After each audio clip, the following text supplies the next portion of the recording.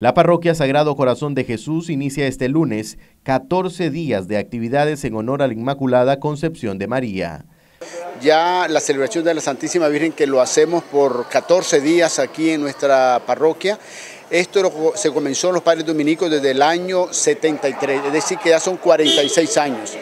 Dándole gracias al Señor, pidiéndole que nos libre de la fuerza de la madre, natural, de la madre naturaleza, porque así fue que surgió, ¿verdad? Por, por un año después del terremoto. Entonces el pueblo se desborda y es una alegría, un gozo aquí en Monseñor Lescano, un pueblo, una comunidad muy mariana. Y entonces tenemos esa, esa devoción al amor a la Santísima Virgen de celebrar con amor y con cariño todos los años con mucho fervor cristiano y mucho fervor religioso. ¿Qué lecciones de vida nos deja la Virgen María? Bueno, yo pienso que nos dejan grandes lecciones de vida. ¿Por qué? Porque ella es la primera que forma la gran familia, la familia de Nazaret. Él nos deja ese amor de madre, de amiga, de esposa, de maestra. Y es la que nos, llama a vivir la unidad y la grandeza de una familia.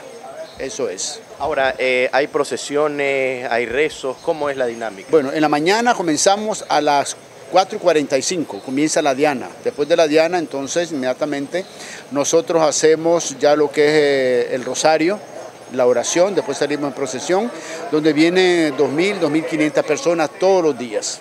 ¿ya? Y aquí todos los días se, se, abarrota, se llena, y ese es un fervor que está muy metido entre el pueblo, que la gente ya lo sabe, sin necesidad de que andemos diciéndolo, solamente por medio de las redes sociales, y entonces la gente ya viene. Entonces es cantidad de gente la que viene.